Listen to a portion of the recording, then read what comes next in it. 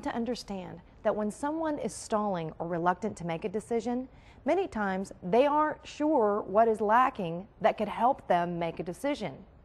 That's your role as a sales professional to fill in the blanks and help her decide. As we discuss indecision or resistance to make a decision, Please remember that it seems to be a natural tendency for a prospective buyer to begin any interaction with a salesperson absolutely convinced that they will not buy anything. Remember the story about the mall, the dress, the shoes? I bet you can relate. So remember, you cannot take it personally when someone stalls a decision. Learn to manage indecision and resistance. And regardless of whether the person buys or not, they will have had a positive sales experience with you. Now, a bit more about indecision. Indecision or stalling is typically a result of one of two factors. Either your prospect is confused about some of the information shared, or she doesn't feel a sense of urgency to make a decision now. We'll provide a simple roadmap to follow when you're met with reluctance or stalling, but let's discuss these causes first. If your prospect is confused, you probably haven't provided the information in a straightforward and clear manner. Perhaps you weren't clear about the out-of-pocket costs of treating cancer, or went off on a story or tangent while explaining how the benefit is paid. The bottom line is this.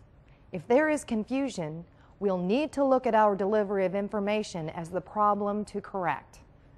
Learning to use the structured format of the QSA sales conversation to provide policy information will minimize prospect confusion. If your prospect doesn't feel a sense of urgency about deciding one way or another, especially with the product you're marketing, then you haven't effectively raised awareness and developed the need. In today's world, it would not be an overstatement to say that information about cancer is everywhere, and the reports regarding the financial pressures of treating cancer are front page news. For many Americans, the question is not if, it is when.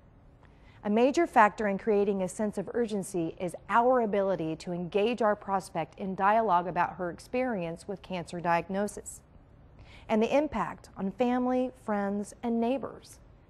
If our prospect does not feel a sense of urgency about her decision to protect against the high cost of treating cancer while she health qualifies, then we need to look at our own reluctance to dialogue about someone's experience with cancer. You may be hesitant to confront the realities of the disease with someone. We've said it continually. We are passionate about our story. We believe everyone should have the financial protection in the case it is needed. Do you? Because of that, you want to guide the prospect